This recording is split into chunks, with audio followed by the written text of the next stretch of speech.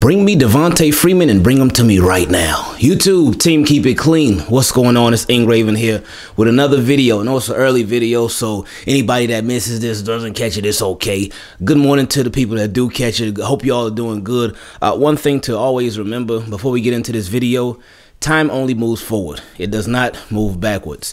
And time is something that you can spend a lot of, but you can never get it back. So make sure whatever you do with your time, you spend it wisely. I love y'all.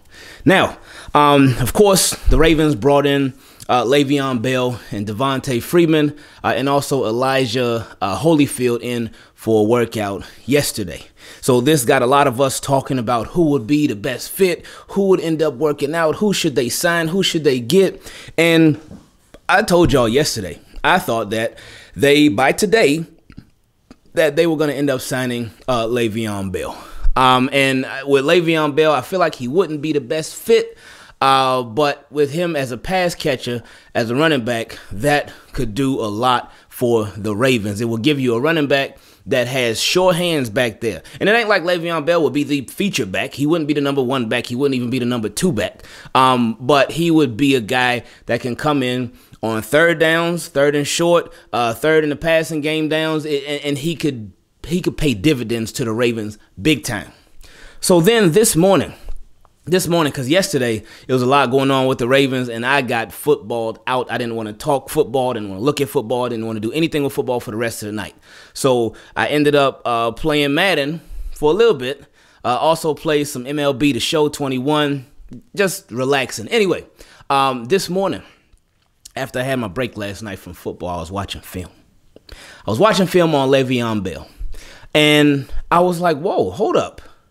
Actually, while he it wouldn't be the best fit, it also wouldn't be the worst. And I saw Le'Veon Bell actually making quick decisions when I was watching film on him.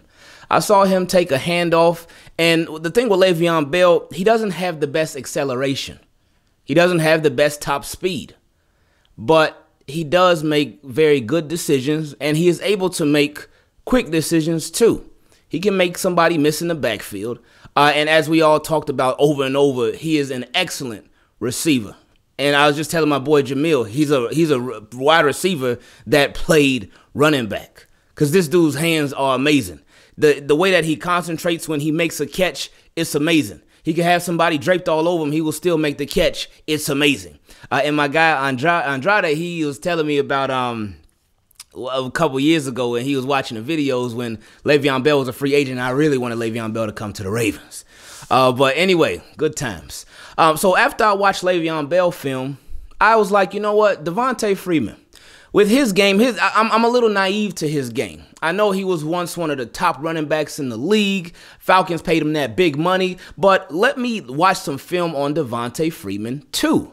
So I did just that. So I'm watching film and I'm like, oh my goodness. This dude got a very nice burst. He got some good speed. And he's quick, like fast. Um, and then I was like, you know what? Let me not just watch him in the Falcons jersey, because that's where he got his money. Let's watch after he got his money. After he got cut from the Falcons, let's see how he looked in the Giants jersey, because I even forgot that he played for the Giants. So I looked at film when he was on the Giants. Same thing. Same thing. Devonta Freeman, he fast, man. He got that speed and he's quick, a lot quicker than Le'Veon Bell. Acceleration a lot faster than Le'Veon Bell and top speed a lot uh, faster than Le'Veon Bell. Obviously, he, he's lower to the ground. He's a shorter, smaller frame, but he can also catch passes out of the backfield, man. He is a better fit. And I tweeted this too this morning. He's a better fit for the Ravens. Devonta Freeman is a better fit for the Ravens than Le'Veon Bell is Ravens, that's who they need to sign. That they need to get. they're gonna get somebody, since they need to get somebody like right here, right now. Devonta Freeman is the better fit. If you watch him, he's the better fit. And shout out to Coach.